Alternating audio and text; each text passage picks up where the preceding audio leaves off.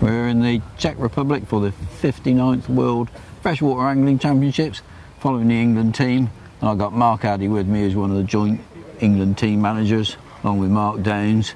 And the lads are on their last day of practice on the match stretch. They're packed, in, uh, packed into a tight little zone, um, and it's very, very hard. We've had about 30 odd hours of solid rain, and it's coming through brown and thick. The water's come up about 10 inches this morning. Conditions are very difficult, and all the lads are restricted to bleak fishing down the side, Mark. Yes, well, uh, obviously we've fed for bream on the long pole as well, and on seven meters for some roach, but there's nothing showing because of the conditions. I think it's just gone too cold for bream. Yeah. There's only bleak showing at the moment. I think there's been one one bream caught today only. Of all the sections. Of all the sections with Right. the Swiss team. Right. I think and- it's the Swiss team. Yeah, and our lads are catching on bloodworm or pinky or something like that, Well, right in close to the side. When it's good, they catch on a pinky, Yeah. and when it's difficult, they have to put a bloodworm on to get a bite, Blimey, just for bleak. just for bleak. So all your week or so of practice with this massive change in conditions, that's gone out the window, has it? Um, not really, because we've been practicing bleaking anyway, so that part of it still comes in handy for us. But as regards catching bream and roach and catfish, and we'll have to see. And I just have this little feeling now that the bream have been woke up by this colder, we- colder water and colder weather, and they'll be swimming all day in this fast flow. So tomorrow could be a bream day. They must have to feed tomorrow, Right. so it could be completely different. We'll hope so. We'll hope the weather clears up again. But after several weeks of hot weather, to have a little cold spell with a dose of cold rain, has changed things completely.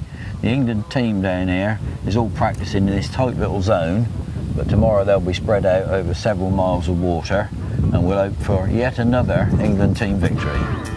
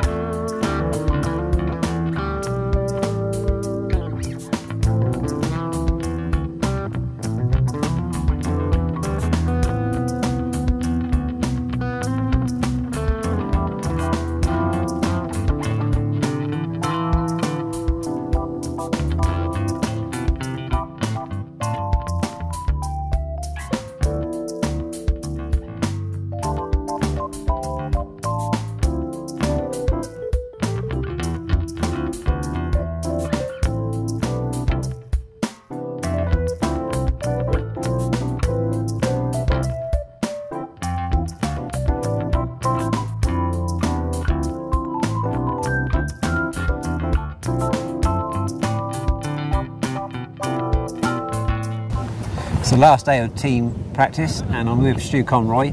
How's it gone, Stu? And what's your feelings on how the weekend's going to go? Um, it's been a real mixed bag this weekend, uh, this week to be honest. Uh, it, the river's changing all the time. Um, early on in the week, we were fishing with one and two gram floats, and now we've I've actually had a 50 gram float on today because the flow rate's increased.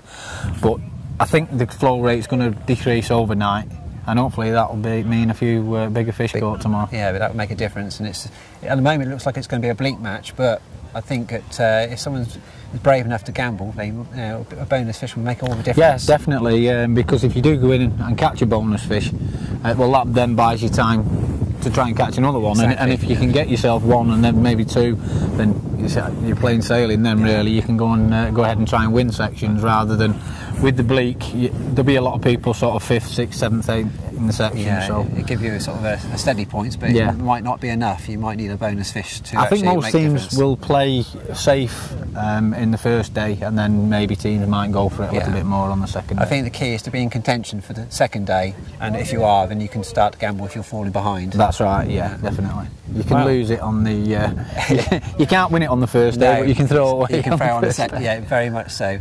It, well, it looks like it's going to be an exciting weekend.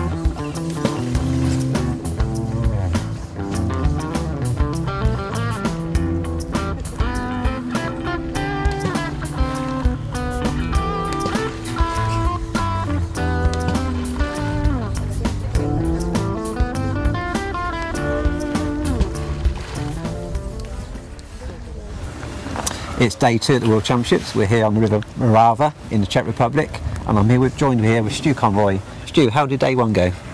Uh, for me personally, not too well, but um, we, uh, we didn't have the best of draw in A section to be fair, and we got it ever so slightly tactically wrong, which was uh, no fault was on. It. It's just when we practiced A section, it poured down with rain, and unfortunately we didn't get a chance to fish for the bleak uh, out at range. Um, the bleak were mainly in the sun, which was uh, a poles of uh, excess of nine metres, and, and we just didn't see that. We ended up fishing for them on whips, which wasn't right on the day. Have you changed tactics for day two?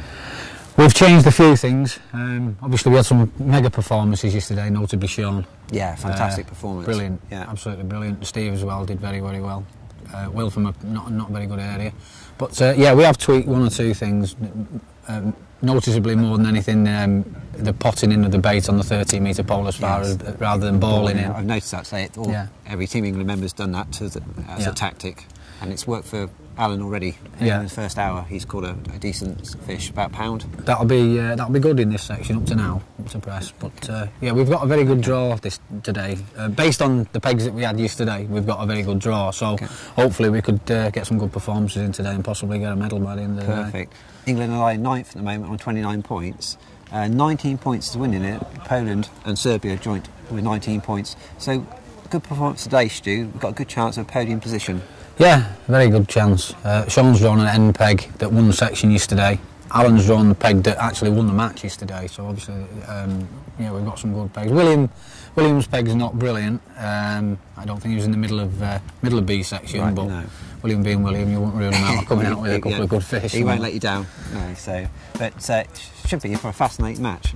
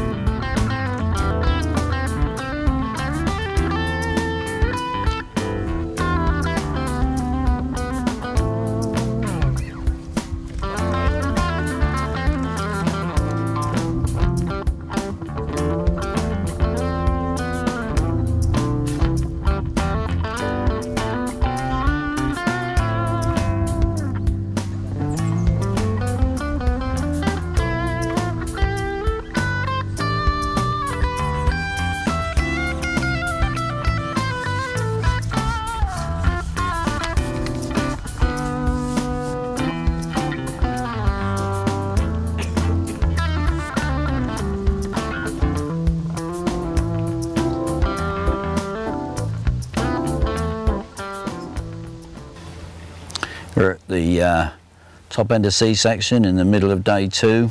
There's only an hour or so to go and the England team are struggling a bit. They haven't had the best of draws. Stevie Gardener here is in a bad position, isn't he, Gary? Yeah, he's drawn a peg uh, next to the, and he's got a lot of snags in his peg, and he's lost a couple of rigs already, and he, and the fish on that line are a better quality, but you just can't get there with, because of the snags. So that's that's hindered him somewhat. Yeah. And we can only hope that Steve catches one, two big skimmers on this 13 metre line to get them out of jail. The Poles have done really well. They fished well on day one. Mm, They got themselves into the lead with Serbia. They look like they're performing well again on day two. We will need to catch an awful lot of big fish in the last hour or so in order to catch up. Let's go and see if they can do that and hope for the best.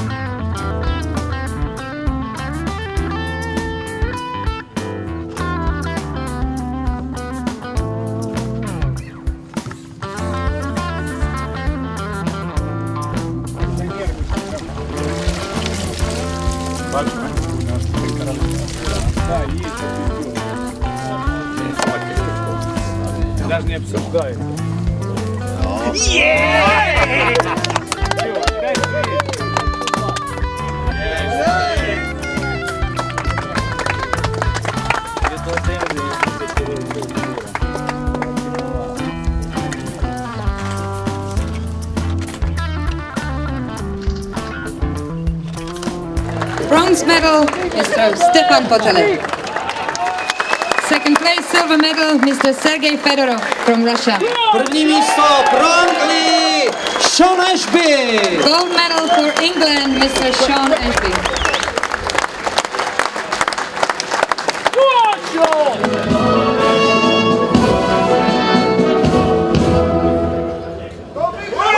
Mistři světa v 59.